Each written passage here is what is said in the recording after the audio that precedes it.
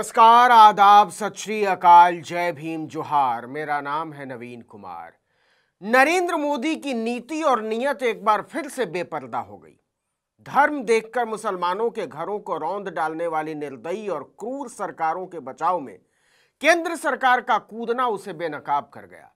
Supreme court ने कहा, हम तत्काल प्रभाव से पूरे देश में बुलडोजर एक्शन पर रोक लगाते हैं। बिना हमारी इजाज़त कहीं भी तोड़फोड़ ना हो।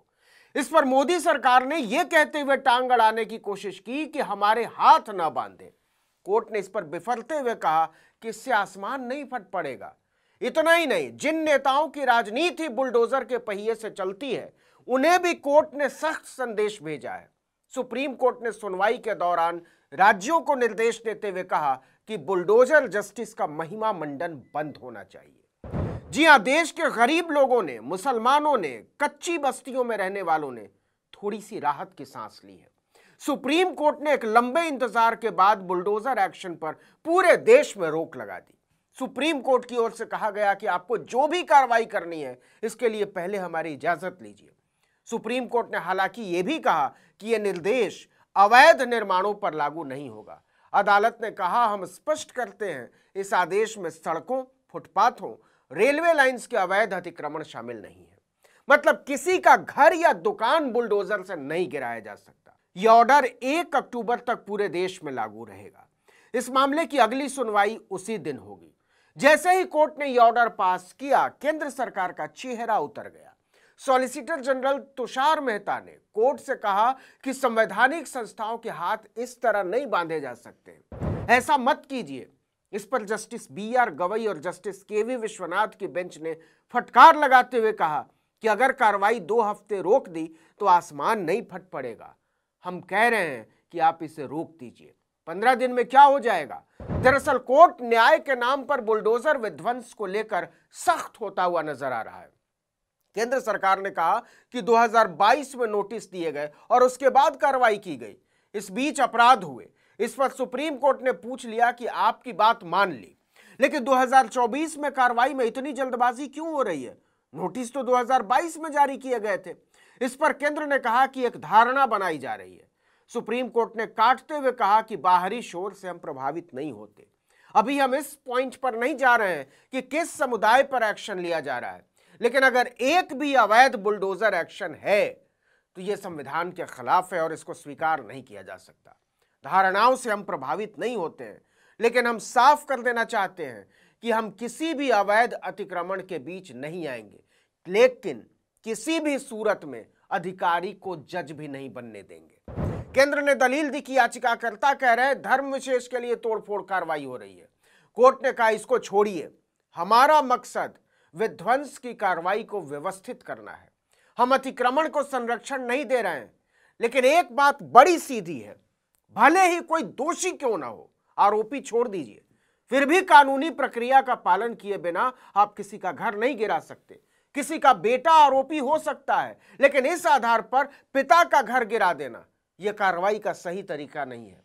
इस मामले से जुड़ी पार्टियाँ सुझाव दें, हम पूरे देश के लिए गाइडलाइन जारी कर सकते हैं। आपको याद दिला दें कि 12 सितंबर को सुप्रीम कोर्ट में ही जस्टिस ऋषिकेश रॉय, जस्टिस सुधांशु धुलिया और जस्टिस एसवीएन भट्टी की बेंच ने भी कहा था कि बुलडोजर एक्शन देश के कानूनों पर बुलडोजर चलाने जैसा है। किसी के अपराध में शामिल होने का आरोप, उसकी संपत्ति ध्वस्त करने का आधार हरगिज नहीं हो सकता। कोर्ट इस पर आँख मूंद कर नहीं बैठेगा। मामला कुछ यूँ था कि गुजरात में, खेड़ा में नगर पालिका ने एक परिवार को बुलडोजर एक्शन की धमकी दे दी। याचिकाकर्ता खेड़ा ज़िले के कटताल में एक ज़मीन का सह मालिक यानी को ओनर है। उनके खिलाफ 1 सितंबर 2024 को एक मामले में एफआईआर दर्ज की गई। इसी पर सुनवाई के दौरान कोर्ट ने कहा कि आरोपी का कसूर कानूनी प्रक्रिया के ज़रिए कोर्ट में साबित किया जाना चाहिए। जिस देश में कानून सर्वोच्च है, वहाँ ऐसी धमकियों को, बुलडोजर धमकियों को कोर्ट नजरअंदाज नहीं कर सकता। भारत का बुलडोजर विध्वंस अब पूरी दुनिया की निगाहों में है। लेकिन पिछले दिनों कुछ ऐसी घटनाएँ घटी हैं, जिसकी वजह से बहुत सारे सवाल उठे हैं। बुलडोजर से न्याय की बुनियाद को ही रौंद डालने का सबसे ताज़ा मामला मध्य प्रदेश के छतरपुर का है। वहाँ 21 अगस्त को कोतवाली थाने पर पथराव के 24 घंटे के भीतर सरकार ने लगभग बीस हज़ार वर्ग फुट में बनी शहजाद अली की कोई 20 करोड़ रुपए की तीन मंजिला हवेली को ज़मीन दोस्त कर दिया। जब हवेली गिराई जा रही थी, तब परिवार का कोई भी सदस्य वहाँ मौजूद नहीं था। नियत पर सवाल इसलिए और खड़े हुए कि वहाँ खड़ी तमाम गाड़ियों को भी बुलडोजर से रौंद डाला गया, जबकि उन्हें बहुत आसानी से हटाकर जब्त किया जा सकता था। एफआईआर में सिर्फ़ इतना लिखा है कि शहजाद अली और उनके भाइयों ने भीड़ को पुलिस पर हमला करने के लिए उकसाया था। सबको पता है कि मध्य प्रदेश में बीजेपी की सरकार है। दूसरा मामला भी, बीजेपी शासित राजस्थान का है। यह अगस्त की बात है। उदयपुर में एक सरकारी स्कूल में दसवीं क्लास में पढ़ने वाले एक बच्चे ने दूसरे बच्चे को चाकू मारकर घायल कर दिया। इसके बाद पूरे शहर में आगजनी और हिंसक प्रदर्शन होने लगे। सरकार काबू नहीं कर पाई। 17 अगस्त को आरोपी छात्र के घर पर बुलडोजर चला दिया गया। यहाँ भी पीड़ित मुसलमान सलीम शेख।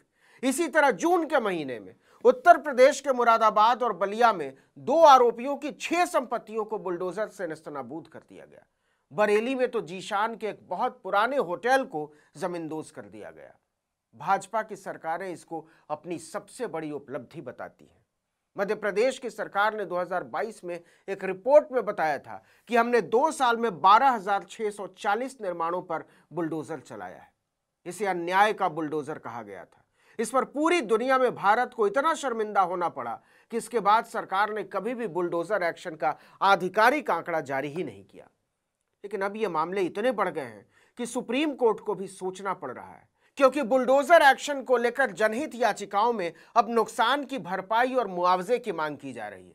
दिल्ली के रहने वाले आलोक शर्मा और प्रिया मिश्रा ने अपनी एक याचिका में मांग की है कि बुलडोजर के गलत एक्शन से पीड़ित पक्ष के नुकसान का आकलन कराकर पूरा मुआवजा दिया जाए। साथ ही बुलडोजर एक्शन किसके खिलाफ और क्यों लिया जा रहा है यह भी सार्वजनिक किया जाना चाहिए। इतना ही नहीं याचिकाकर्ता ने सुप्रीम कोर्ट से गुहार लगाई है कि बुलडोजर एक्शन की तामील कराने वाले अधिकारियों के नाम और पद भी सार्वजनिक किए जाएँ और गलत एक्शन की स्थिति में दोषी अधिकारियों से ही मुआवजे की रकम वसूली जाए। जरा सोच कर देखिए, अगर किसी कोर्ट ने ऑर्डर कर दिया कि शहजाद अली को छतरपुर में 20 करोड़ की हवेली बना कर दी जाए और यह रकम बुलडोजर एक्शन में शामिल अफसरों से वसूली जाए तो क्या होगा? कौन तामील कराएगा इन कार्रवाइयों को? इस वीडियो में इतना ही, लेकिन अगर आपने आर्टिकल 19 इंडिया को अब तक सब्सक्राइब नहीं किया है तो फ़ौरन कर दीजिए बेल आइकॉन दबाइए, घंटी जैसी आकृति लाइक कीजिए और कमेंट करके बताइए हमारा वीडियो आपको कैसा लगा। हमारा ट्विटर हैंडल है आर्टिकल 19 अंडर इंडिया और मेरा ट्विटर हैंडल है नवीन जर्नलिस्ट। नमस्कार।